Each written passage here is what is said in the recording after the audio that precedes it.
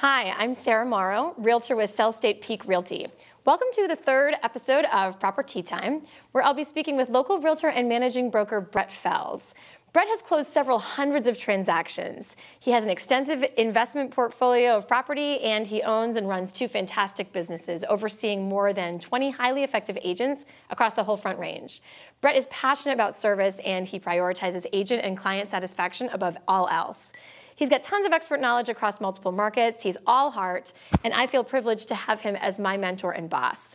Brett has about 14 years experience in raw land, commercial, and residential, and he works with investors and he makes his home in Firestone. He does a fair amount of business in his neck of the woods. So today we're going to be speaking about some advantages to heading east where there's much new housing development going on and much more to come.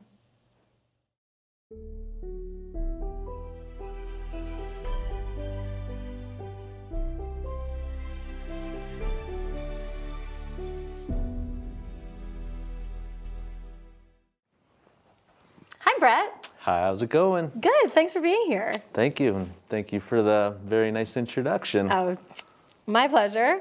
Um, let's dive right into it, shall we? Awesome. So today we're talking about uh, Frederick Firestone, in particularly, and uh, but really that whole area.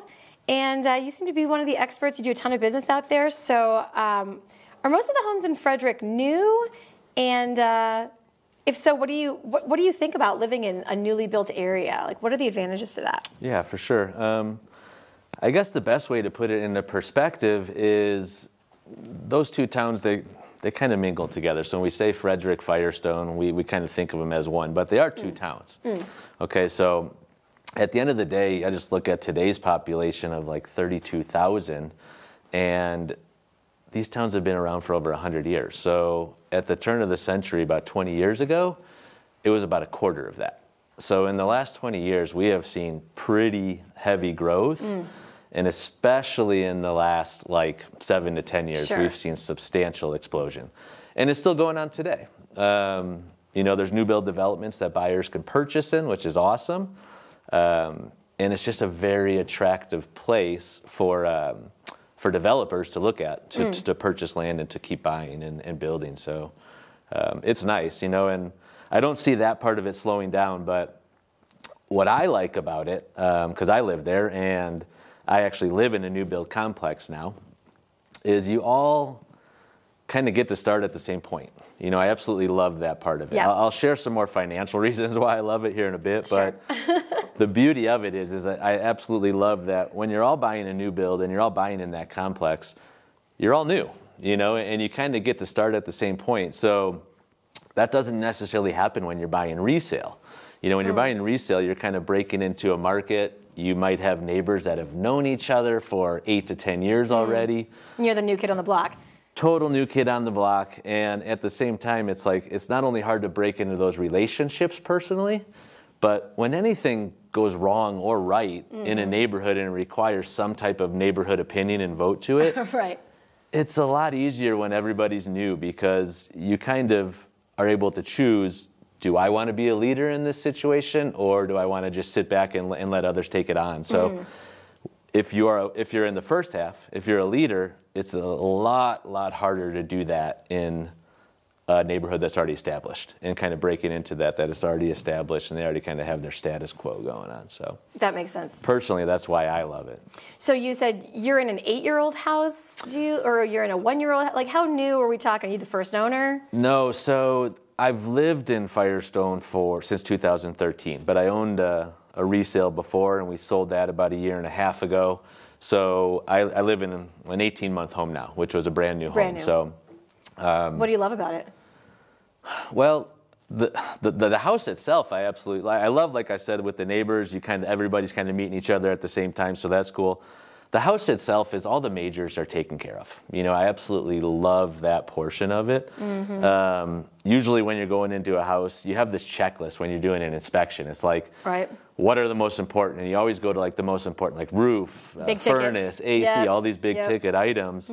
All those are new. Now, it's not that something might not go wrong with it, Sure. but there's an excellent chance that those are taken care of. Now we can concentrate how we want to customize it. Whether you do that through the building process or you have the money right away to do that afterwards, Um, that's what I love about it. You know, we were able to customize some of our um, home when we put it under contract in Sure, the new like the build process. finishes Yep. But some of it we weren't. But because we didn't have to worry about all those big ticket items, we had a lot of cash to spend afterwards to put in a deck out back, It's you know, to put in some built-in shelving in, Yeah. the, in the TV room. So Right. we were really able to customize it right away, which we love. And these are high, high efficiency homes Yep. that we're not really seeing in Longmont or Boulder anymore, of course. No, yeah, I mean, since I would say that started turning around the year 2000 anywhere. You know, anywhere where they started to build, builders really started putting a lot of stock in making these homes more efficient. Oh, they're brilliant. Yep, I mean, the so- engineers that think of this stuff, Yeah. the grade and the garage so that oil doesn't pool to, I mean, they think of everything. Insulation, everything. Oh my gosh, awesome. the Tupperware seal, like everything's so tight. Right. All right, so uh, we kind of talked about it, but what would you talk to? What would you tell a buyer, or what do you tell your buyers who are working and living, or sorry, working and running a business in Longmont, but maybe can't live in Longmont for whatever reason? Um, what are the other benefits, advantages, or benefits to your area? And how do you how do you sort of talk about schools with your wife? How do you manage the commute time? Yeah, no, definitely. I mean, I'm living proof of it. I, as you know, um, my offices are here in, in Longmont, so, and they've been here for at least five out of the last eight years that I've lived in Firestone. So, what I always recommend when you're starting a buying process, and especially in today's market, what I always highly recommend is that buyer needs to be uber prepared. They have to be ultra prepared to be competitive in this market. And one way to kind of get laser focused on what you're looking for is we use this tactic called the buyer triangle. Hmm. Okay? And what it is, is obviously the triangle has three points. And on each point, you have price on one, you have location on the second, and then you have amenities on the third. Okay? So most of the time, unless you have unlimited amounts of money, price is always going to be a factor, right? So Pretty price strong. is always going to be a driving factor. So I always look at it and go, well, if you could only have two out of three and price is one of them, what's the other driving factor to you? To me, I can get to my office in 15 minutes. I wanted a bigger home for my wife, my family. I wanted more amenities, what it came down to. So the beauty of about uh, just pulling out that buyer's triangle and getting laser focused on what you're looking for is you get to choose then. You I get see. to make that decision. Like, is location more Right. paramount than the amenities, or do you want to enjoy your house in this way? Exactly right. drive, You yeah. might have a smaller house here. You might have an older home. You might have to fix up more. But guess what? I could walk to Ziggi's and get a cup of coffee, Right. you know, and I could walk to my office. So Sure. always start the process when you're buying with that. I mean, it, it couldn't Saves be a ton of time. it couldn't be more important. And, and now they are telling you what they want. Yeah, that's nice. You know, you we're not telling The them prepared what they buyer. want. Right. Very much we so. like you guys when you're prepared. Yeah. Well, thank you for that. I like the way you prioritize. You know, you can't have it all. Unfortunately, we always we can't always have it Unless you have unlimited amounts of money. Then, then we try to have it and all. you could probably have all three, yeah. Um, okay, so let's talk let's talk numbers a little bit. So let's say, you know, for example, I live in a 2,300 square foot 1948 home here in Longmont. You, I'm sure, live in a 3,000 plus square foot, relatively brand new. You said Yep. uh, high efficiency sort of a place that um, was built very recently. So, like, can you help? Can you help the buyer right now who's shopping think about the appreciation of one versus the other, and how different are those numbers really? Well, to answer the second part real quick, they're not. They're really not that different. Appreciation is appreciation. Okay, so it kind of goes back to the, the question before is what's more important to you? Right. But when you're looking to just broadly say, is this a good time to buy? You know, is this a good buyer's market? Am I, is my home going to appreciate here soon? Um, this is where really you come into play. You know, you as a realtor, um, as a buyer, I would ask you two things. Okay, if you were my realtor, I would come to you and I would ask you two things. I would say, is this a good time to buy? Which they all do. And is my home going to go up, right? Now you need to respond with two simple things. And you only have to look at these two things to, to answer their question. And it simply goes to one, let's look at supply and demand. Okay, so, and you have to get local, guys. You have to get local. Do not listen to the national news. Every market's different. Every town around us is a little bit different. Like we just, we're analyzing town to town That's why here. we're talking, yeah. You know, so every town around us. So if you're if you're looking at national news and they're talking about a market in Florida, Well, guess what? It it doesn't have any validity here. so you have to get local supply and demand. And when you're looking at supply and demand, typically a balanced market is somewhere around four to six months, okay, of inventory. And what that means is, starting today, if nobody listed their home from here on forward, there is enough inventory for the amount of buyers that are currently out there to last four to six months. Okay, so Currently on the market. currently on the market. Yep. So whatever's currently on the market and the amount of buyers that come in, that will basically deplete within four to six months. That's a balanced market. Mm-hmm. So right now we're about one to two months. Okay. So as you could see, it's a great time for both. Okay. Right. Sellers are selling their home quickly. They're they're getting the price that they want. Um, but buyers are also buying in an appreciating market, and that's what you want. Everyone Mm, the thinks, win-win. Totally. Everyone thinks that you need to buy low. Well, guess what? When you're buying low, you're buying in a depreciating market. And that's fine. You're going to get a good deal, but you have to wait a lot longer for it to Mm. come back and appreciate. So it all comes down to how long do you want to wait on your investment? How long are you willing to wait? How long are you willing to wait? right. Yep. Right. I would much rather get it on the uptick and just analyze that supply and demand As you go. as you go, Yeah. and it's all monopoly money unless you cash out anyway. you know, so at the end of the day, if I say, "Oh wow, I have $150,000 staring me in the face right now," do I want to cash out? Right. Yes or no? Does it work in my in my other three factors or two factors? Totally. Yep. And the other thing I would look at is interest rates. And, and these have been historically low for seven, eight, nine years now. I Yeah. mean, we've been under 4% for A decade. Yeah, you know, close to it. So at the end of the day, it's like, don't get scared if it goes from three and a half to three point seven five.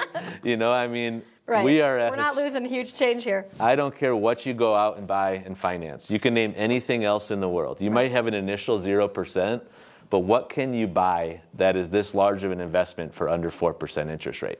Right. At three to five percent down if you're Right. living in it. So Right. it's free money, and everybody knows that. And But they're um, still waiting. but we they're all still tend To, we all tend to watch and wait and fear.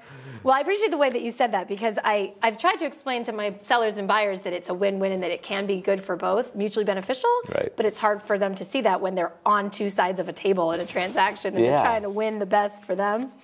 Um, okay, so the last thing I would ask is just, can you give us an even more concrete example of, say, like a family in your area that you know personally that has like quickly built up equity just by getting in when they did, just by purchasing, just by getting off the fence? We have a lot of renters in this area still. We have tons of first-time homebuyers that are staying that want to step up to that second, third home. Right. But again, they're waiting and seeing what's going to happen. Yep. I mean, I'll, I'll just give you my example. Um, I won't give you exact numbers, but, Tell us but, about I'll, your but, family. but I'll give you I'll give you my example. So we moved to 2013 in uh, in, in the Firestone in 2013, and we bought a resale home, like I said. You And it- mean when you say resale, brand spanking new? no, no, no. Um, already, uh, it was built in 2000. Okay, Okay, right. so it, it hit the market again. It was Okay, already was- owned. Yep, exactly right. When you first moved to Firestone. Okay. Yeah. So when I say resale, yeah, it's already been owned by someone. It's not brand new. So at that time, we bought it, and it didn't need much, but we put a little bit into it. I would say this number, about twenty, twenty-five thousand dollars. I sold it six and a half years later, so the beginning of 2020, and I made a substantial six-figure profit. Wow. Okay, so Okay. anywhere 8 to 12% year over year. And that was really not doing much to it. So Wow. that launched me into what I wanted to do with this new build that we bought a year and a half ago. Hmm. And I will tell you some bonuses about, I don't want to steer you either way, but I, I, I will tell you some bonuses about purchasing a new construction home, especially in today's market. The biggest reason we did it is we didn't want to go out and compete. Okay, so that was one big reason. So that's one that should be one for you guys as well. You mean put your name on the wait list, get the lot, and it's yours. you might have to wait longer. Obviously, you do, depending on where it's at in the build. It might have already been started, but at the end of the day, I'm not going out there and competing against maybe three, five, some cases ten other. You don't other like the bidding wars? They're so fun. It's really hard. So you get to you get to make a more conscious decision. So I loved mm, I like that. I really loved that part of it, you know, buying buying that new. So at the end of the day, what most people don't know is new construction, especially in appre- appreciating markets, they build in appreciation automatically. Okay, so what that means is In the purchase price. yeah, no, oh, just over time. So if you can look at a new build complex and preferably buy within the first 60% of it being built, Ah, ah, ah. okay, so now you know that there's more coming, okay, behind you.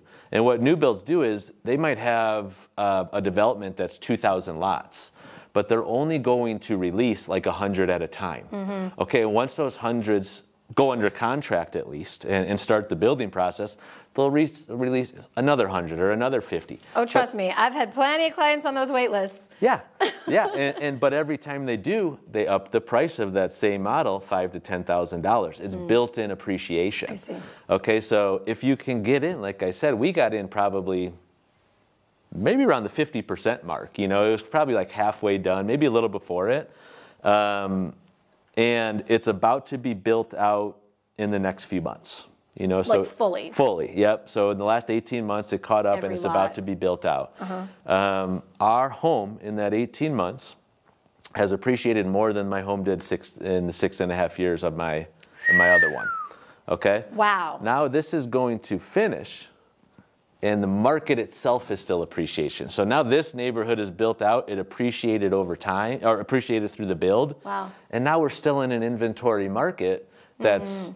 one to two months. When I said four to six is balanced. Oh my gosh. And everything else that starts to sell around it now is is going to bring it up too. So. Um, that's that's the huge bonus of buying a new construction right now Yeah. is you kind of can see that appreciation at least for the somewhat near future Right.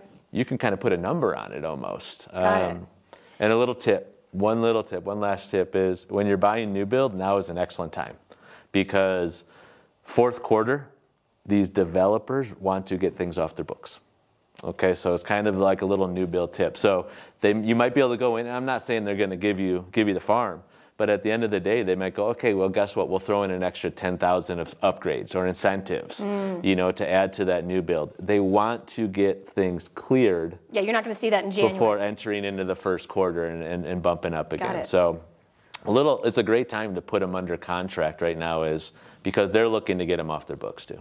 Wow. So I can really see what you mean in terms of timing.